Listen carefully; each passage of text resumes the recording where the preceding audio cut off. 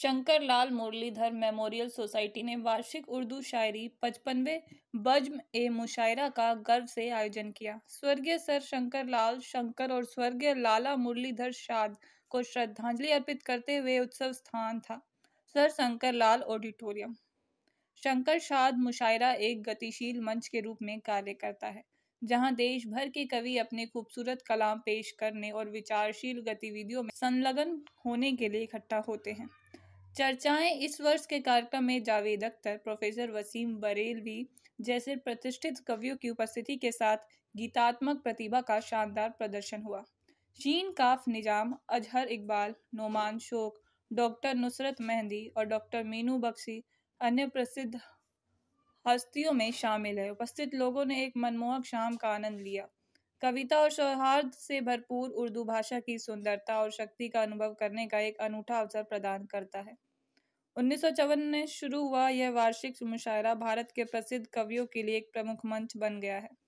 पिछले एक दशक में इस घटना ने भू राजनीतिक पर काबू पा लिया है। चुनौतियाँ, पाकिस्तान और विदेशों से सम्मिलित उर्दू कवियों की भागीदारी का स्वागत। सदियों पुरानी यह परंपरा संरक्षण में महत्वपूर्ण भूमिका निभाती है और भारतीय उपमहाद्वीप के सांस्कृतिक संवर्धन में योगदान देने वाले उर्दू साहित्य की समृद्ध विरासत का जश्न मना रहा है।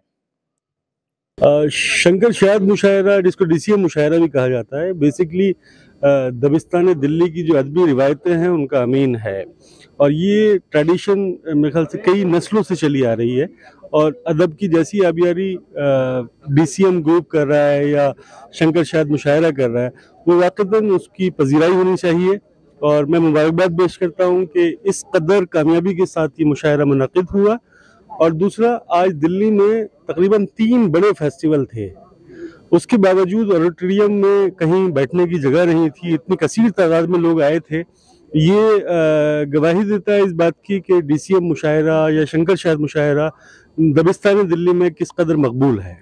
सर पेशकश और ऑडियंस के लिए क्या कुछ कहेंगे? कैसा लगा? ये मतलब एक खास तरह की ऑडियंस थी। हर अच्छे शेर पर दाद दी उन्होंने। बहुत सुखन फहम लोग आए हुए थे। आ, अच्छे शायर तो कोई भी बुलाए लेकिन अच्छी ऑडियंस बुलाना कमाल होता है। और ये माधव भैया का कमाल है कि उन्होंने ऐसी ऑडियंस को यहाँ बुलाया जिन्होंने हमें बहुत मोहब्बतों से बहुत खलूस से नवाजा और बहुत अच्छे से शायरी सुनी। एक छोटी सी कोई शायरी जो आप दर्शकों के लिए कि ये खौफ है कि रगों में लहू न जम जाए। ये खौफ है कि रगों में लहू न जम जाए। तुम्हें गले से लगाया नहीं बहुत दिन से। शुक्रिया, आदाब। नहीं, कि ये 2019 में ऐसा मुशायरा हुआ था जैसा आज हुआ है।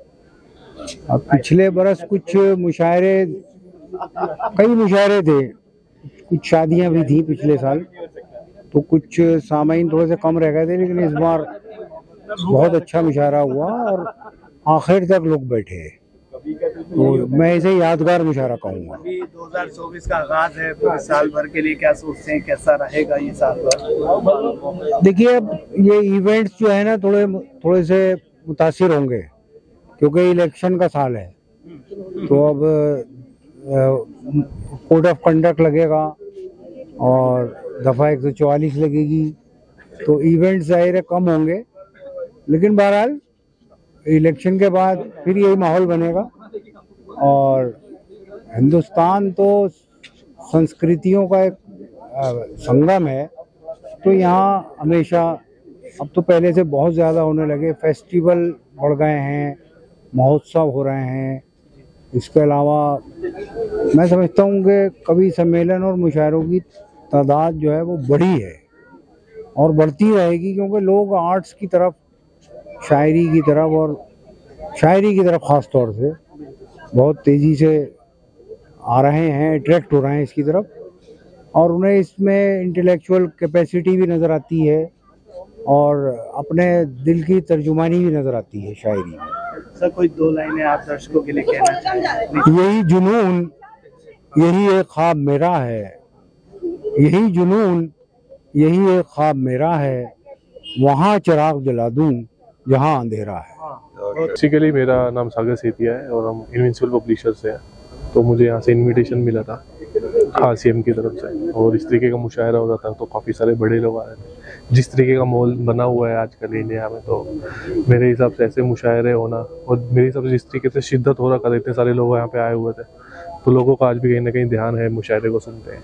बिल्कुल। तो ये इतने बड़े बड़े शायर को बुलाना करना आप लोगों को कितना कन्वीनियंट था या आप लोगों ने कैसे इसको मैनेज किया? करने वाले आरसीएम है क्योंकि ये बहुत टाइम से करते आ रहे हैं। 1955 से चलता आ रहा है। तो ऑलरेडी बहुत सारे इवेंट्स कर चुके हैं मुशायरे के ऊपर। आपको कैसा पर्सनली फील हुआ है पर्सनली बहुत अच्छा फील हुआ। अगर इनको लाइव देखना जिन्हें हम टीवी में देखते हैं फिर डिजिटली देखते हैं क्योंकि बहुत पुराने लोग हैं। तो इनके जो वर्ड्स हैं मेरे हिसाब से कहीं ना कहीं आने वाले जो यूथ है उनके ऊपर काफ़ी अच्छा इफ़ेक्ट डालते हैं। आप खुद को कनेक्ट कर पाते हैं शायरी? हाँ हम भी कुछ कर लेते हैं तो तभी हम यहाँ तक पहुँच पाए वरना इतनी देर तक बैठना सबके बस का बात नहीं होता। ठीक थैंक यू